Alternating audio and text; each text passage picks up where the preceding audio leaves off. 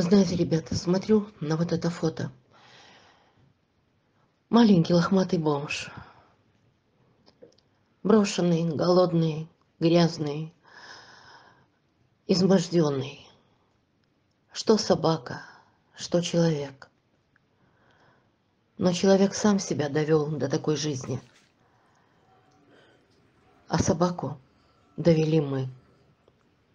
Ведь он маленький, крошечный, домашний.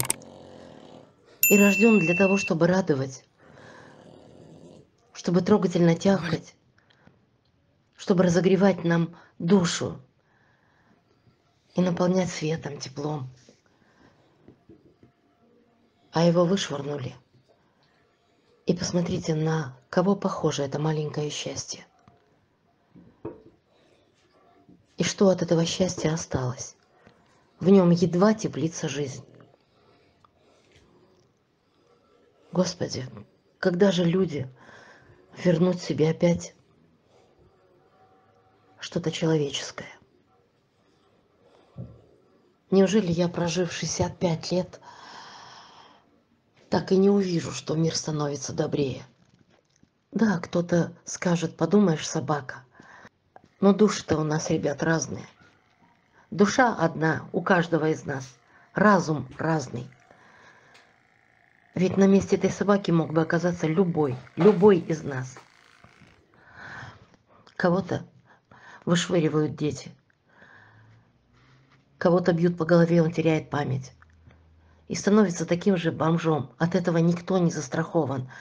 Но почему же мы вместо сострадания презрительно и брезгливо морщимся и отворачиваемся? Вот что страшно. Простите, ребят, просто я разговариваю только с вами. Когда какой-то вопрос возникает, когда на душе горько или наоборот радостно, делюсь с вами то, что чувствую. А вы отвечаете, рассказываете о том, что происходит с вами. Этого малыша мы назвали Шерлок. Я надеюсь, что очень скоро мы расскажем о том, как он счастлив в новой, замечательной семье. А пока, а пока, друзья, Шерлок просит у вас помощи.